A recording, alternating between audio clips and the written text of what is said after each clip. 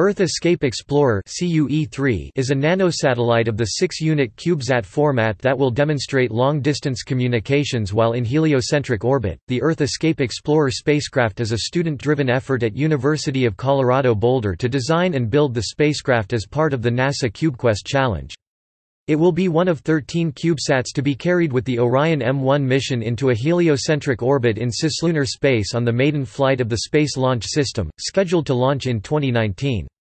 Topic objectives The CU-E3 team is pursuing four different CubeQuest prizes, largest aggregate data volume, most error-free data blocks, the most distant communications from Earth, and spacecraft longevity.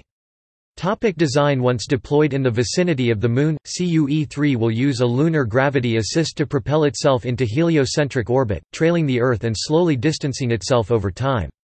By the end of its one-year mission, CU-E3 is planned to be as far as 27 million kilometers from Earth.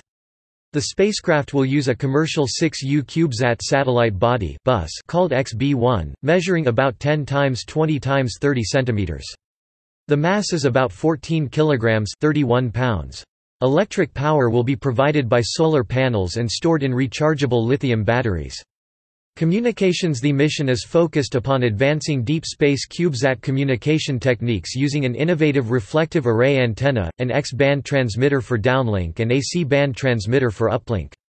The antenna array is planar, meaning all of the elements are in one plane, yet provide a large aperture for beam steering and make possible high data rates. Atlas Ground Networks will be the ground station for their uplink and downlink communications. Their telecom package is called High Rate CubeSat Communication System HRCCS. Propulsion CU-E3 does not feature an on-board propulsion system, and will be using solar radiation pressure for reaction wheel desaturation and attitude control orientation. Topic see also The 13 CubeSats flying in the exploration mission One lunar flashlight will map exposed water ice on the Moon Near-Earth Asteroid Scout by NASA is a solar sail spacecraft that will encounter a near-Earth asteroid Biosentinel is an astrobiology mission Skyfire by Lockheed Martin Lunar IceCube, by the Morehead State University CubeSat for Solar Particles CUSP Lunar Polar Hydrogen Mapper Luna Map, designed by the Arizona State University EQUULEUS, submitted by JAXA and the University of of Tokyo OMOTENASHI, submitted by JAXA, is a lunar lander Argomoon, designed by Argotec and coordinated by Italian Space Agency Cislunar Explorers, Cornell University, Ithaca, New York Earth Escape Explorer CU-E3, University of Colorado Boulder Team Miles, by Fluid and Reason, LLC. Florida.